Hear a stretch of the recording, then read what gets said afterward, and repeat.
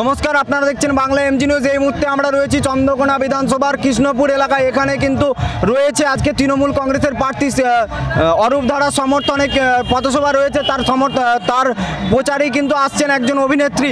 অভিনেত্রীর নাম কিন্তু এখনও পর্যন্ত জানা যায়নি।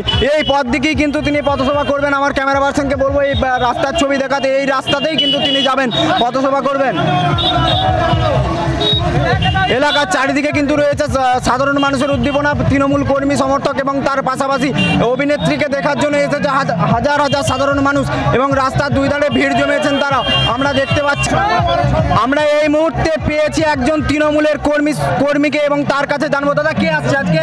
আজকে আমাদের আমাদের প্রার্থী অরুধারার সঙ্গে আসছে আমাদের পল্লবী চ্যাটার্জি আসছেন আজকে রোড শো হবে পল্লবী চ্যাটার্জি হ্যাঁ? আমাদের লাহিরিগঞ্জ থেকে পারুলিয়া পর্যন্ত হবে।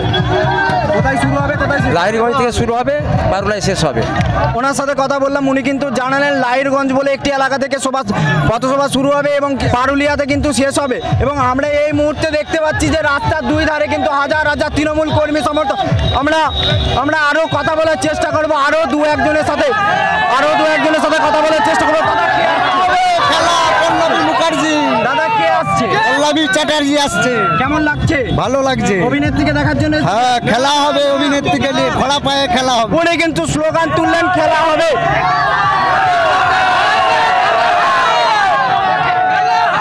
দেখতেই পাচ্ছেন মানুষের চিৎকার এবং তারা কতটা আনন্দিত এখানে কে আসছে?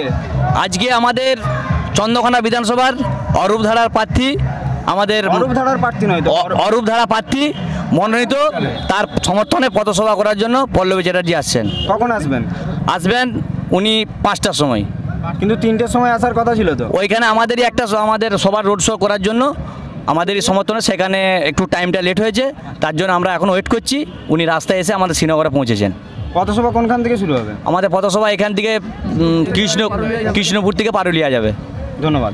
আমরা কথা বললাম এতক্ষণ ওনার সাথে পরবর্তী একজনের কাছে যাব তিনি কে জানাচ্ছেন জানব। আমাদের অরূপধারা চন্দ্র চন্দ্রকোনা বিধানসভা অরূপধারার প্রার্থীতে পল্লবী চ্যাটার্জি আসছে। উনি গ্রাম ইন্দা থেকে কৃষ্ণাপুর পর্যন্ত হয়ে পারুলিয়া পর্যন্ত জনসভা শেষ হবে। ধন্যবাদ। আজকে তো অভিনেত্রী আসার কথা ছিল কিন্তু আসেনি। অনিবার্য কারণবশত উনি আসতে পারেননি তবে আমরা কৃষ্ণপুর রামজীবনপুর আমাদের সমস্ত দলীয় কর্মী সমর্থকদের নিয়ে আমরা রোড শো করেছি। পদযাত্রা করেছি এবং ডোর টু ডোর ক্যাম্পেনিং করেছি। আপনি তো প্রচার সারলেন কৃষ্ণপুরে কেমন সাড়া পেলেন? মানুষ মুখিয়ে আছে জড়া ফুলে ভোট দেওয়ার জন্য।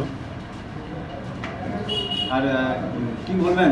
ভোট তো আর দুদিন পরে আজকেই প্রচার শেষ হলো। হ্যাঁ। আর তো প্রচার করা যাবে না কি বলবেন এই বিষয়টা প্রচার শেষ হয়েছে কিন্তু মানুষ মুখিয়ে আছে তৃতীয়বারের জন্য মমতা বন্দ্যোপাধ্যায়কে মুখ্যমন্ত্রী করার জন্য। সেক্ষেত্রে এক তারিখের জন্য সকলেই অপেক্ষা করুন। হান্ড্রেড পারসেন্ট তৃণমূল কংগ্রেস জিতবে। আমরা ভোটারদেরকে বলব যে আপনারা আমাদের সাম্প্রদায়িক শক্তি বিজেপি তাদের পাতা ফাঁদে পা না দেওয়ার জন্য।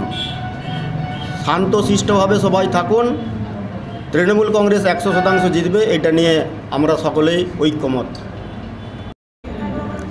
নমস্কার আমি চন্দ্রকোনা বিধানসভার সমস্ত সাধারণ মানুষ এবং আমাদের কর্মী সম- সমর্থকদের উদ্দেশ্যে জানাই যে আপনারা শান্তভাবে অশান্তিতে কোনো পা দেবেন না, শান্তভাবে নির্বাচন করান, তৃণমূল কংগ্রেসকে জয়যুক্ত করান এবং মমতা বন্দ্যোপাধ্যায়ের হাতকে শক্ত করান। তৃতীয়বারের জন্য যাতে আমাদের মুখ্যমন্ত্রী মমতা বন্দ্যোপাধ্যায়কে আমরা আসনে বসাতে পারি, তার ব্যবস্থা করুন।